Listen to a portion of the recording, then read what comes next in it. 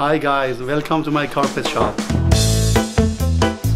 The country of Iran is synonymous with carpets. The art of carpet weaving in Persia originated more than 2,500 years ago. And today, Iran is the world's largest producer and exporter of carpets, and it's a huge part of their economy. I think it's safe to say that Nobody does carpet better than Persians.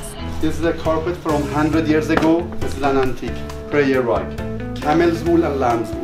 For centuries, Persian carpets have been produced to decorate floors of buildings and provide nomadic people protection from cold winters. The techniques and designs for carpet weaving have been passed down for generations throughout periods of peace, invasion, and war. Look, we have warp here, we have uh-huh. warp here. We take one from front, one from the back, and we make a knot. There's always a variety because different ethnic groups in Iran produce different carpets. We have Kashgai, Lor, Beluch, Kurd, Arab, Shah Savan, Turkmen, Saraks, and they have different kinds of carpet. All over Iran today, carpet making is the most popular handcraft, and you can see them displayed everywhere on the floors and walls of all palaces, households, restaurants, hotel rooms, museums, and famous buildings.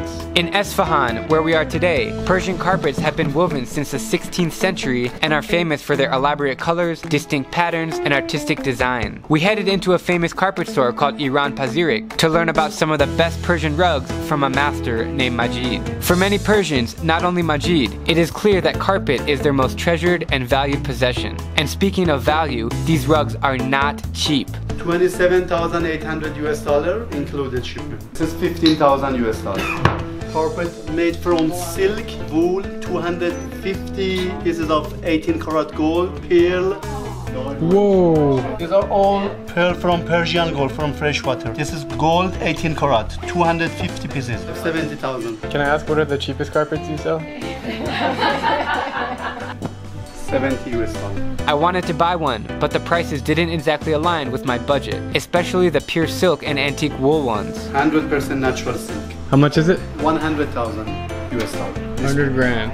What do you think, Amin? I could buy a nice house for the price of one rug. Maybe someday on my next trip to Iran, I'll get to bring one of these guys home. Thank you. Bye bye. I'm Drew Binsky, and if you like my travel videos, please click subscribe and join me as I plan to visit every country in the world.